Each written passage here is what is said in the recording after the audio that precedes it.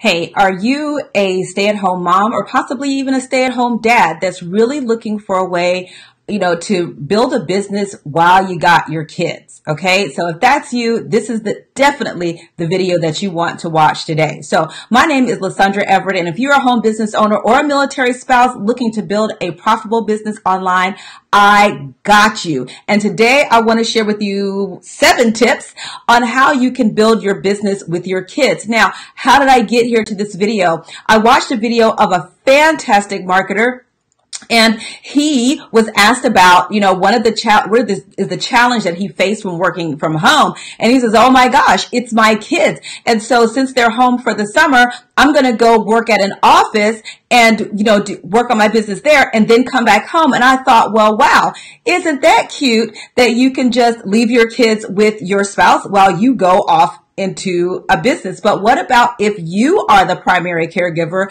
We don't get to just uh, to drop our kids off and just go leave and go to the office, right? So this is why I want to share with you seven practical tips that you can use to build your business with the kids, okay? And these are things that I have done myself. I have two children that are now uh, 14 sorry, 15 and 10. But these are tips that I have used from the time that they were toddlers up until now. Okay. So number one is to plan your day. You really need to sit down and get a a pictorial, a written representation of what your day looks like. Plan, you know, what time you're going to get up, what time they're going to get up, what time's breakfast, what time's lunch, when is nap time, you know, when, when are you going to do certain activities with your kids? Write all that down. And then when you look at that, you can figure out where you can have little pockets of time to work on your business. You might have 15 minutes, you might have 30 minutes and once you figure out what time you have, then you can be intentional about building your business that way. Speaking of planning your day, number two, we're going to talk about um, batching activities. And what that means is, is that you pick a certain activity and you work on that specific thing until you get it done. So for instance, it might be shooting videos. Okay. So, you know, if you really want to be uh, you know, be successful on YouTube, for instance, you really need to, to shoot at least one video a day. But that doesn't mean that you have to shoot one video every day. You might shoot several videos and just upload them daily. My other thing that I batch is freaking laundry, okay? My laundry gets done on Fridays in, and but it's done by Saturday morning. If it's not in the laundry room, then it doesn't get washed until the next week. Okay. So so you really want to focus on batching like activities to get those things done so that you can be more efficient and focused with your time. Okay. That's number two. Number three is get up early or stay up late. Now, I am the early riser. I generally get up between 3.30 and 4 o'clock in the morning. Other people don't mind staying up late. I am not smart at 10 or 11 o'clock at night. Okay. But you figure out what works for you. So, uh, for me, what worked is getting up before my family. I could work on some things. And then once they get up, I can be focused with them and then, you know, go on about the day. So, um, so you have to really, you know, figure out number one, what is your peak time, and number two, you know, what what you can do in those those hours, right? And those times that you wake up before them. So for me, you know, I have my personal time. I work out. Um, you know, sometimes I read. I, you know, meditate just during the, those quiet hours. So you got to figure out what works for you. But get up early or stay up late. That's a way that you can get some solid time in to build your business without the interruption and distraction of your babies. Okay, number four is nap time is your friend. If you have little ones, this is a killer tip for you. Okay. When your kids lay down for a nap, I know you would like to lay down for a nap too okay? Because they have been driving you up the wall.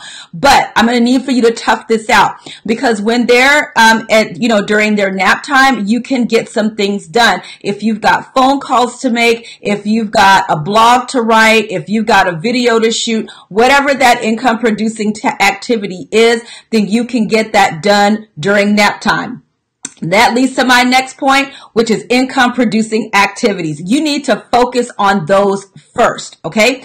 Because if you are intentional about your business, focusing on the income producing activities, also known as IPAs, you're really intentional about doing the things that are going to make you money. So if shooting a video that has a, a, a link in it that leads to some, you know, to an affiliate product or something, that is an income producing activity. Focus on getting those things done first with the time that you have. Leave that other stuff for later you can get to the point where you can outsource some things like, you know, graphics. Okay. Graphics are nice, but that is not the income producing activity. Providing the content that leads to a link, that is an income producing activity. So you, you have to know what that is for your business and then focus on those in the time that you have. The next one is build a village. Okay you've got to the, the one thing that that we women do and I don't know if you guys do this, so sorry if this really sounds a little sexist, okay? But the one thing that we women do is we know how to build a village, okay? And this is what you have to do if you want to be successful. And especially if you can build that uh, that village with other business owners because you guys can swap childcare. Be like, okay, great. I'll take the kids on this day. You take the kids on this day, and both of you help each other out and um, you know with with your children so that you can both build businesses together. But if you build a village, then you're gonna have more help. Okay you might need, you really just might need a darn nap. Okay. So you can, you know, call Susie down the street. Hey, can you watch my kid for an hour while I go to sleep? Hey, you know, I'll take your kids today. You take the kids tomorrow. You've got to really build that village because you really can't do it alone. You do need help and needing help is not a sign of weakness. Acknowledging that you need help and getting it, that is a source of strength. And also understand too, that your village can be in your home as well. Meaning that, you know what? Your spouse, you, tell your spouse what you need. A lot of times we just assume our spouse need, knows that we need them to take care of dinner or we need them to, you know, to the corral the kids and all of that. No, be specific about what you need and ask your spouse to pitch in with certain things so that you can, you know, you can take a breather because, you know, you don't have to do everything in your business. Like, what is it? What are the things, not, not in your business, but in your home, right? Because we got houses to clean, we got laundry to do, you know, we just, the lawn, the list goes on, right? But if we build that village within our home to say, hey, can you take care of this? Can you be responsible for this? This is going to help take a load off of you and you're not so stressed out and you actually do get to get some sleep. Okay. And the last thing I'm going to tell you, number seven, is to include your kids in your business. What? Yeah. Okay. So, you know, a lot of times we try to hide the fact that we have kids. Let's stop all that. Okay.